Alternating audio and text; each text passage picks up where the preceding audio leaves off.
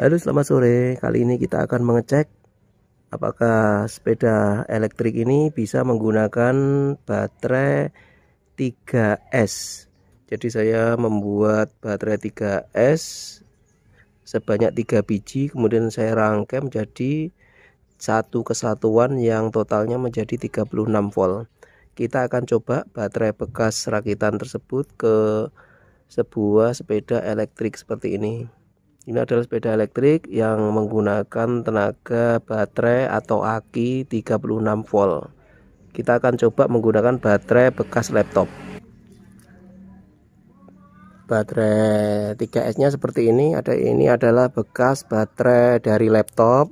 Kemudian saya rangkai menjadi baterai 3S eh, dengan menambahkan soket seperti ini ya. Ini soket balancer sama soket untuk ke powernya jadi ini ada tiga.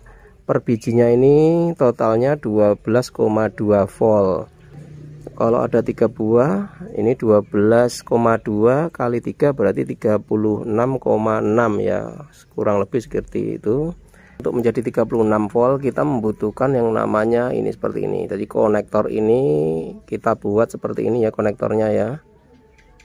Membuat sendiri konektornya dari soket T-DIN ini adalah soket T DIN. Kemudian kita rangkai ya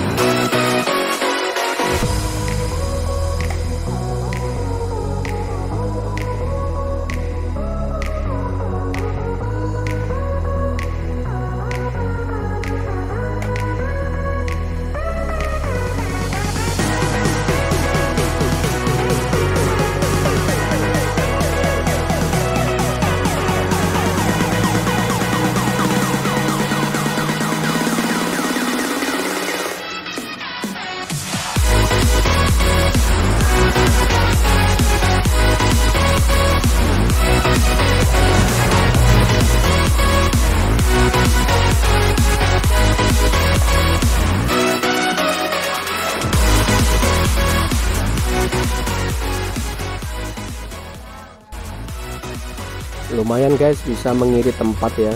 Tempatnya kecil banget di kantongin aja bisa ini. Masuk tas bisa segini.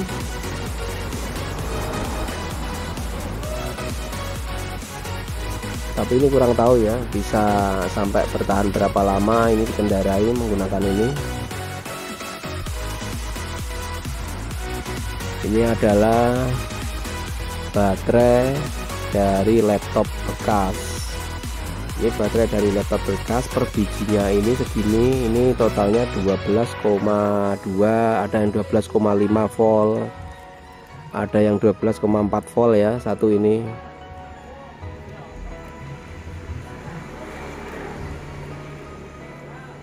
Saya kurang tahu ini tipenya apa. Sepertinya ini baterai lithium ion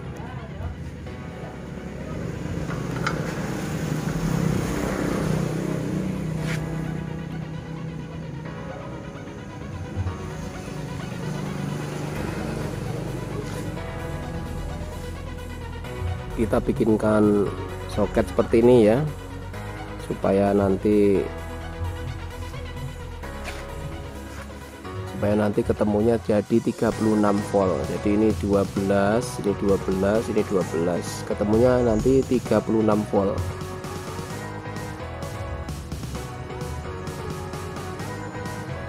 Soketnya ini harganya murah ya. Ini sekitar 3 ribuan ini harganya soketnya ini.